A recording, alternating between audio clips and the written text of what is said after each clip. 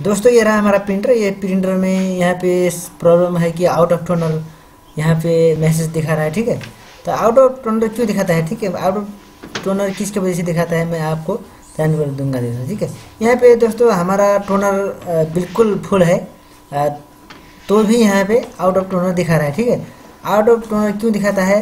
और इसको प्रॉब्लम हम किस तरह से सॉल्व किया जाता है मैं आपको इस वीडियो में दिखाने वाला हूँ दोस्तों। वीडियो को इन तक ज़रूर देखना और यहाँ पे मैं बिल्कुल सारा का सारा सोल्यूशन मैं दे दूँगा ठीक है?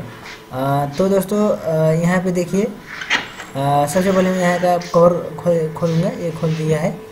और इसके बाद मैं करूँगा आप यहाँ पे देखिए यहाँ रहा हमारा ड्रम यूनिट और यहाँ से अंडर है एक वहाँ वो उसके बोलते हैं डेवलपर यूनिट ठीक है? यूनिट निकालने के लिए यहाँ हमको सबसे पहले ड्रम यूनिट को निकालना होगा।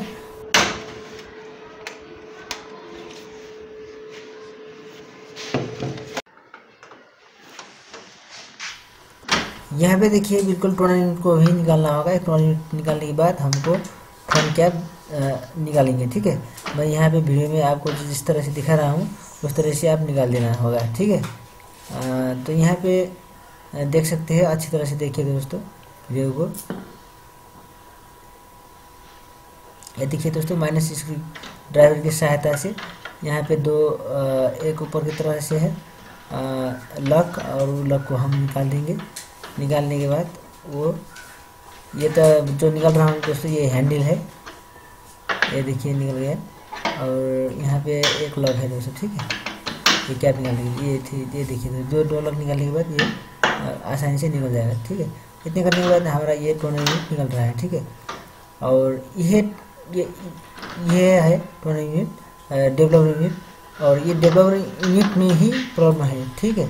इसकी वजह से हमारा जो प्रॉब्लम आ रहा है, वो बिल्कुल प्रॉब्लम आ रहा है दोस्तों, ठीक है? तो यहाँ पे देखिए दोस्तों, यहाँ पे अंदर बिल्कुल टोनर से भरा हुआ है। टोनर बिल्कुल डस्ट इसका गेयर के भाग में जाने के बाद यहाँ पे ये डेवलपर यूनिट जो डेवलपिंग यूनिट है, वो अच्छी तरह से मूव नहीं हो पा रहा है, ठीक है? अच्छी तरह से मूव नहीं होने के बाद दोस्तों यहाँ पे क्या दिखा रहा है कि आउट ऑफ़ टोनर यहाँ पे मैसेज दिखा रहा है, ठीक है? तो इसके लिए मैं इसको करूँगा दोस्तों इसको बेहतरीन तरीक़े से मैं इसको साफ़ करूँगा और साफ़ करने के बाद फिर से इसको मैं यहाँ पे इंस्टॉल करूँगा, ठीक है? जो यहाँ पे गियर साइड में है गियर साइड में बिल्कुल टोनर से भरा हुआ है, इसीलिए हमारा इसका गियर बिल्कुल जाम हो रहा है। अच्छी तरह से मूव नहीं हो पा रहा है ठीक है? तो इसके वही वजह से यहाँ पे ये दिखा रहा है। इसको मैं अच्छी तरह से साफ़ करूँगा और यहाँ पे मैं इंस्टॉल करूँगा ठीक है दोस्तों? और उसके बाद दोस्तों यहाँ पे देखिए ये देखिए दोस्तों ये देखिए बिल्कुल यहाँ पे टोनर भरा हुआ है ठीक है? इसको मैं साफ़ कर दिया। साफ़ करने के बाद इसको मैं फिर से इंस्टॉल कर रखा हूँ। और इस, इसको इंस्टॉल कर रखा कर रहा हूँ। ये देखिए दोस्तों इसको अच्छी तरह से इंस्टॉल करूँगा और मैं आपको फिर से चेक कर दिखाऊँगा दोस्तों और क्या होता है दोस्तों, ठीक है? ये देखिए दोस्तों। बहुत अच्छी तरह से मिला मिलाना होगा इसको। अच्छी तरह से इंस्टॉल करना होगा। ये देखिए, अंदर एक इसका है दोस्तों, इसका लॉक है। अच्छे से इसको बैठने के लिए और एक ही जगह में ये सेट होने के लिए यहाँ पे अंदर एक लॉक है दोस्तों, ठीक है? उस लॉक को यहाँ पे एक हॉल है, उसमें डालना होगा ठीक है दोस्तों? ये देखिए दोस्तों, ये देखिए। ये देखिए दोस्तों, ठीक है? डाल दिया, बिल्कुल अच्छी तरह से ये बैठ गया है दोस्तों, ठीक है? अच्छी तरह से इंस्टॉल हो चुका है अभी। हाँ इतने करने के बाद दोस्तों, ये कवर यहाँ पे लगा देना होगा। ये बिल्कुल आसानी से लग जाता है दोस्तों। नीचे यहाँ पे थोड़ी सी मिलवाना होगा नीचे मिलने के बाद ऊपर की तरफ़ से हम पुश कर कर दें। बस ये अच्छी तरह से लग जाएगा। बिल्कुल आसान है दोस्तों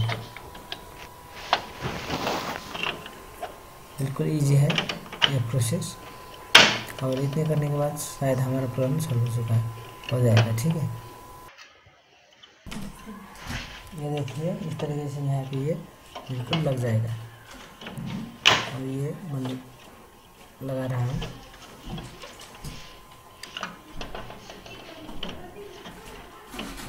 देखिए पुश करना है, ठीक है? ये देखिए, अच्छी तरह से मिल गए। और इतने लगाने के बाद यहाँ पे मैं हैंडल डालूँगा। यही दोस्तों एक हैंडल जो ड्रम को अनलॉक कर देता है और लॉक भी करता है।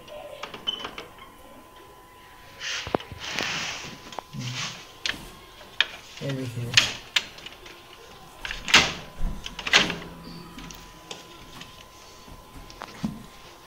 और इतने करने के बाद यहाँ पे मैं एक स्क्रू लगा दूँगा। स्क्रू लगाने के बाद दोस्तों यहाँ पे ऊपर की तरह से लगेगा हमारा ड्रम, इसको भी मैं डालूँगा, ठीक है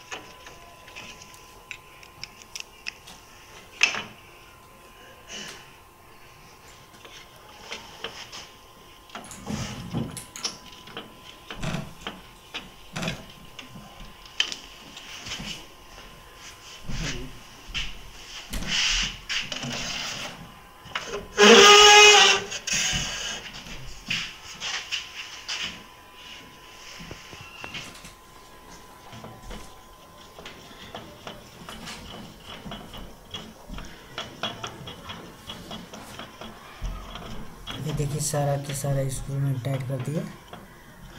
और टाइट करने के बाद दोस्तों यहाँ पे जो ड्रम है उसको मैं डालूँगा।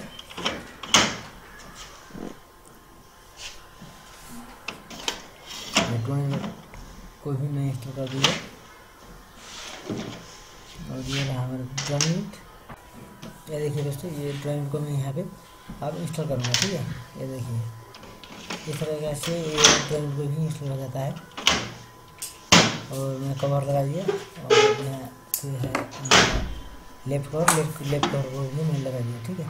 करने के बाद यहाँ पे मैं पावर लगाता हूँ, पावर लगाने के बाद यहाँ पे हमारा मशीन आ रहा है, ठीक है? देखिए।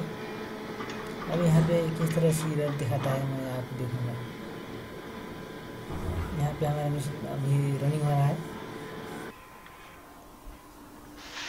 ये देखिए ये देखिए दोस्तों, बिल्कुल हमारा प्रिंटर बिल्कुल रेडी हो गया है ठीक है? दोस्तों, इस तरह से आपका मशीन रेडी कर सकते हो, ठीक है? जब आपका मशीन में आउट ऑफ़ टोनर मैसेज आएगा तो इसको इस तरह से सॉल्व किया जाता है, ठीक है? यहाँ पे मैं एक पेपर डाला है, उसको मैं एक निकलता हूँ, इस तरह से आता है। ये देखिए दोस्तों ये देखिए बिल्कुल बिल्कुल सही और क्लियर प्रिंट आ रहा है यहाँ पे। देखिए इस तरह से आउट ऑफ़ टोनर को हम सॉल्व कर सकते हैं ठीक है? जब आपका प्रिंटर में आउट ऑफ़ टोनर आ जाएगा तो इस तरह से हो जाएगा ठीक है? यहाँ पे यहाँ नीचे की तरफ़ से हमारा पेपर का साइज़ नहीं मिला है इसलिए ये ये दिखा रहा है। उसके लिए हम आ, नीचे का ये पेपर ट्रे है। पेपर ट्रे का यहाँ पे रहेगा एक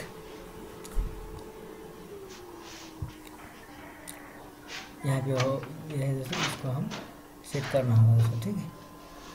और इतने करने के बाद दोस्तों हमारा बिल्कुल वो इधर हट जाता है, ठीक है दोस्तों? आज के लिए इतने दोस्तों, और नेक्स्ट वीडियो हम फिर से मिलेंगे, और out of out of toner जो इधर था, इसको इस तरह से सॉल्व किया जाता है, ठीक है